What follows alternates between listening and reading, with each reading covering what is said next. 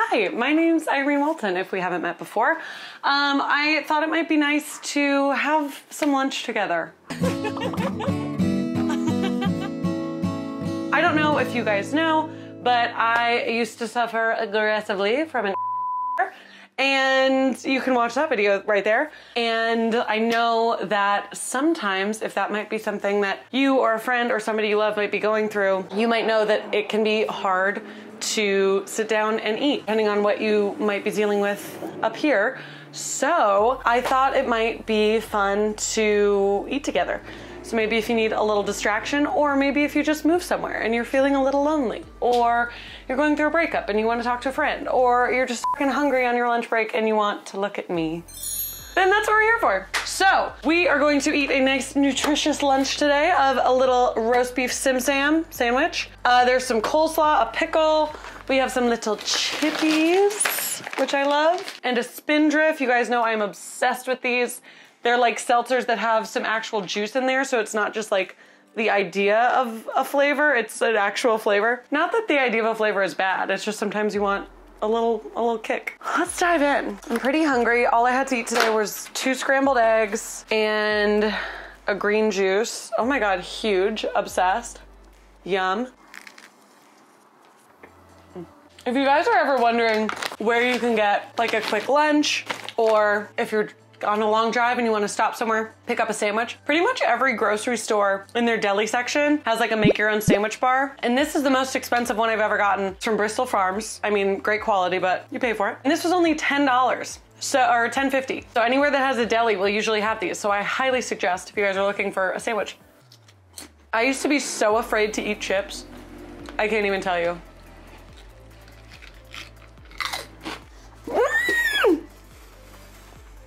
Everything's fine. Just need to clean that up in a minute. What are you having for lunch? Mmm, that sounds good. What's something that your parents used to get mad at you about? Like at the dinner table, not like, you know, breaking curfew. For me, it was chewing with my mouth open and complaining about the food that was there because they were like, you fucking have food on your plate, chill out, which was correct. Cheers. Spills all over my camera. Mmm. Oh my God. Is anybody watching Pam and Tommy? And can we talk about it? Holy crap. The acting in that show is some of the best I've ever seen. Sebastian Stan, listen, I usually try to be pretty wholesome on this channel. I said this channel like I have another channel where I'm not. I do not. I usually try to be pretty wholesome when we're together because that's kind of just my vibe, but also like, you know, you have friends uh, in real life for that. All of this to say, the things I would let Sebastian Stan innumerable. He is so hot. He so talented. His voice is so sexy. He's so cool. I love him. I'm in love with him. And my, I'm so, my brain is so stupid. That's not true. I take that back. I'm sorry. My brain is truly telling me like, I think you have a chance with him. And I'm like, no, I don't. I think he's 38 and like engaged to just a beautiful woman. Like beautiful actress. So incredible. As he should be. But in my head, I'm like, if he had met you first, things would have been different. Which, who knows? Moral of the story if you are of age and want to, you should watch Pam and Tommy. Oh my God. Speaking of people you should watch, you guys know I'm like a little bit on TikTok, like nothing crazy, but I'm on TikTok far too much. And and because of what I get to do and like what my job gets to be, I'm like, mm, it's research. I just want to be on TikTok for like five hours a day. So before Pam and Tommy, the show came out, one of my favorite TikTokers, she is so talented, so funny, so cute, so smart, so well spoken, so relatable, so likable, so like literally it, much like Sebastian Stan, but in a different way. I think if her and I met, we would be like truly the best of friends. I think she's just such a peach. You guys probably already know who I'm talking about by the way I'm describing her. Hello Tefi. Oh, oh my god, what a dream.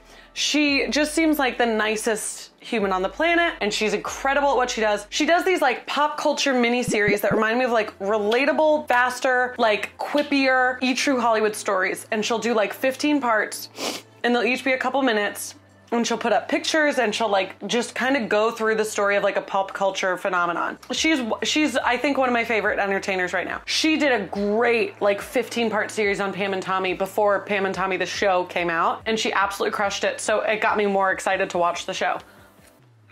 Anyway, that's the TV I've been watching. Isn't that interesting? That's like when somebody tells you their dream and you're just like, oh, it was your elementary school, but it was actually your parents' house. That's crazy. If I'm not in the dream and it wasn't fun, I don't want to know about it. Look at this. Just a 15 out of 10 right there. This coleslaw is good, but I don't think I'd get it again. Not enough mayo. I wonder if by the time this comes out, I'll have a name for my podcast yet.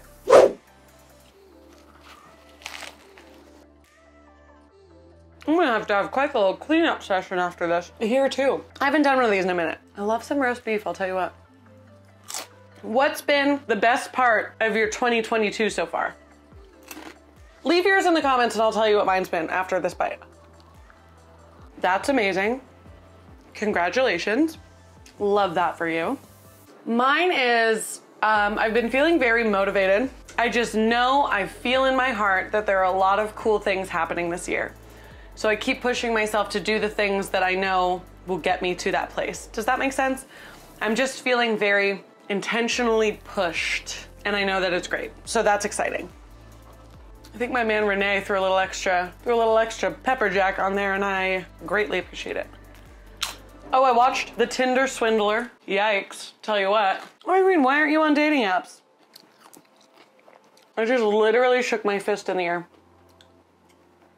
I keep biting my cheek and it hurts so badly. And because I keep doing it, it keeps getting bigger and I keep biting it more. Mmm. This will be the last of the TV show discourse because I. But this is what I talk about like when I'm with my friends and stuff. So whatever. We are friends, so we're together. You're gonna have to hear about what I'm watching and what I hated, which was and just like that. Oh my god, I know. It's not a surprising take that I hate it because, of course. I think HBO has sublime programming. I think that their writers are excellent. I think that their interface, gorgeous. I, everything about HBO I love. Don't get me wrong. I ate and just like that up like a little piggy. I watched every episode the second it came out. Doesn't mean I liked it. Here's what's up. I would have thought that the show was literally 20 times better, even if every single thing was the same except for what they did to Samantha. If they had just killed her off, I mean, kind of killed her off is the only thing because she was such a good friend that no matter where she was in the world, she would have. You, if you've seen it, you know what I'm talking about. Samantha was, was, and is, and will always be the goat. And maybe it's because I, I fancy myself a Samantha. But I just like, you just can't do that to such a beloved character. You cannot. I don't know. What do you guys think? Did you watch it? She she never would. She never would have not. You know, as much as this just sounds like what I have been watching on TV, it's also kind of an update on my life because all I've been doing is watching TV.